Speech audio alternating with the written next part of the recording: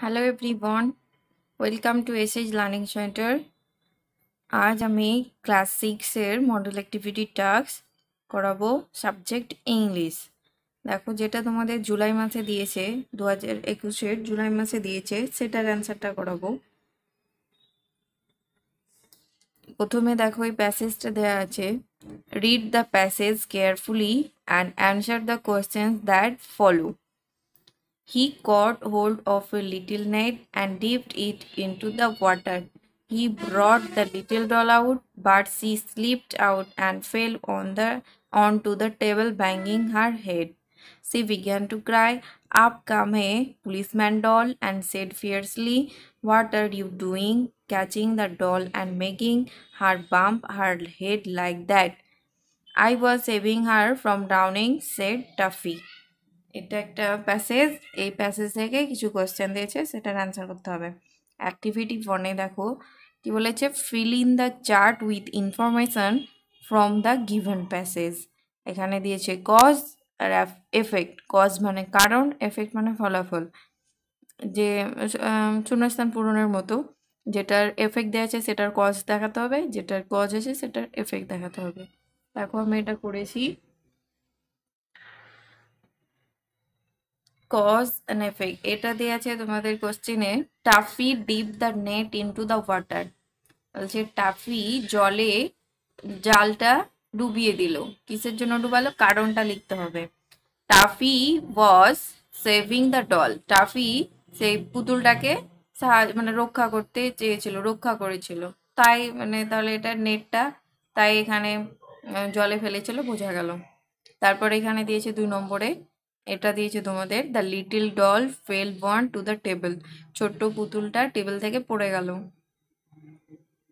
Table পড়ে গেল। তো এফেক্ট কি হলো? She has got bump on her head তোমাদের প্যাসেজে যেহেতু এটা হেড আছে, এটা হেড হবে। হেড তারপর এখানে তিন নম্বরে দিয়েছে the policeman doll talk fiercely এটার কারণ হবে the little doll slipped out and fell on the table তারপর activity two activity two A দিয়েছে classify the underline words of the given sentences in the correct columns on is done for you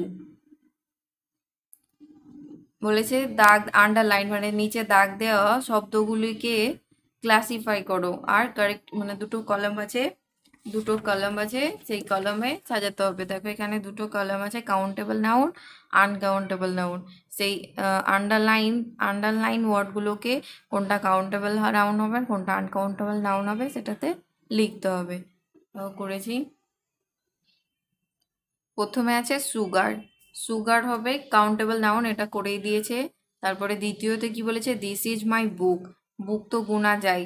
যে যেসব জিনিস গোনা যাবে সেটা হলো countable noun আর যেসব জিনিস গোনা যাবে না সেটা হলো আনকাউন্টেবল নাউন তাহলে বুকটা হবে কাউন্টেবল নাউন আমি দেখো এখানে বুকটা লিখেছি কাউন্টেবল নাউনে তারপরে তিন নম্বরে তিন নম্বর কোয়েশ্চেনে কি আছে? আমব্রেলা আমব্রেলাও গোনা যায়। তাই আমব্রেলাকেও লিখেছি কাউন্টেবল নাউনে এখানে আমব্রেলা তারপর চার নম্বরে কি আছে? হেয়ার হেয়ার মানে চুল। চুল তো গুণা যায় না, তাই চুল হবে আনকাউন্টেবল নাউন আনকাউন্টেবল না হলে হেয়ার লিখবে।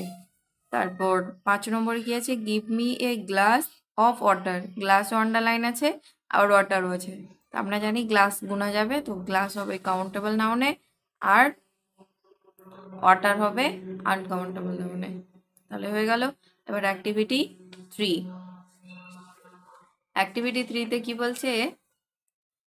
Make sentence with the following words বলছে বাক্য রচনা করো নিচের শব্দগুলি দিয়ে। তাহলে প্রথম শব্দ কি আছে? ডিসপেয়ার হতাশা। A few positive words can turn despair into hope sturdy that chair doesn't look very sturdy mystified mystified. I was mystified by her decision. Rescue. He wanted to rescue me, but none can.